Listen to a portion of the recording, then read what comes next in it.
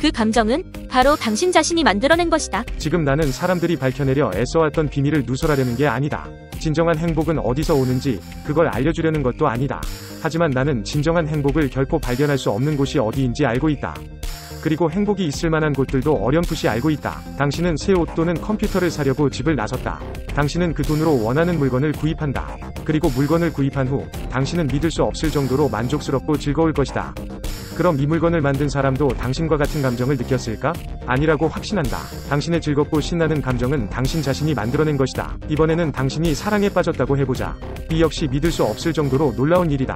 당신은 연인을 만나러 갈 때 짜릿하고 행복한 감정을 느낄 것이다. 당신이 그 사람을 만날 때 그 감정은 사방으로 넘쳐 흐른다. 당신이 연인과 함께 있기 때문에 그 혹은 그녀 역시 같은 감정을 뿜어내고 있기 때문이다. 과연 그럴까? 아니, 전혀 그렇지 않다. 그 모든 감정은 당신 스스로 만들어낸 것이다.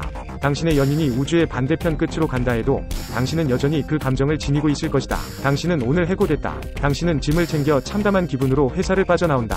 그 순간만큼은 자신이 무가치하고 한심한 존재처럼 느껴질 것이다. 그런데 당신이 느끼는 그러한 감정은 해고 때문일까? 아니다. 당신의 그 감정은 바로 당신 자신 속에 내재해 있을 뿐이다. 우리 모두는 날마다 넌 당장 해고야. 라는 말을 들을지도 모른다는 불안감을 안고 직장으로 출근한다. 마찬가지로 이제는 진정한 내 반쪽을 만날 수 있을 거야 라는 기대를 가지고 또다시 새로운 사람을 만난다. 하지만 사랑에 빠진 감정도, 새로운 물건을 구입했을 때의 감정도, 해고다 했을 때의 감정도 영원히 지속되지 않는다. 그래서 사람들은 자신이 이미 그런 감정을 가지고 있다는 사실을 깨닫지 못한 채 단지 그 감정을 다시 느끼기 위해 새로운 물건을 구입하거나 사랑에 빠지거나 그 외에 무엇이건 간에 열중한다. 그들은 자신만의 마약을 계속 찾아 헤맨다.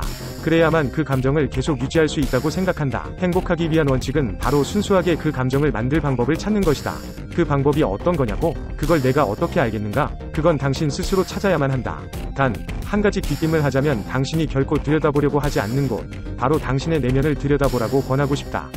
그렇다. 행복, 슬픔, 분노, 두려움, 불쾌감, 고마움, 부끄러움, 사랑, 자부심, 동정심, 미움, 놀라움, 존경심, 만족감, 안도감, 죄책감 등 지금 느끼는 그 감정은 바로 당신 자신이 만들어낸 것이다. 감정이 배제된 채로 이성이 단독으로 먼저 나서는 경우는 상상해보기 어렵다. 감정은 기분과 상상이 혼합된 결과이고 매우 개인적인 성향을 지니고 있다. 우리는 우리의 뇌를 도구처럼 이용하여 사고를 하는 것이 아니라 우리 스스로는 뇌가 지닌 하나의 상태인 것이다. 이러한 관점에서 보면 우리는 어느 정도까지는 우리의 감정 그 자체인 것이다. 감정이 없는 인간은 행동 능력을 완전히 상실하고 무엇을 생각해야 할지조차 스스로 알지 못하는 상태에 빠진다. 오늘은 여기까지.